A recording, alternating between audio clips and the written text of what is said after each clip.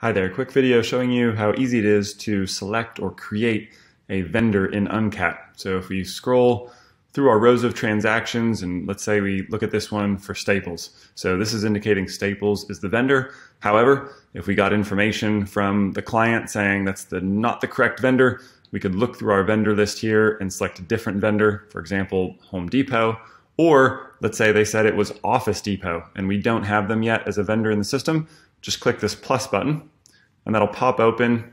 And what we can do is create that new vendor in, in this case, QuickBooks Online or Xero or QuickBooks Desktop. So it's a quick way to create a new vendor in your accounting software and then sync that transaction to it. All right, that's it. Easy. Thanks for watching.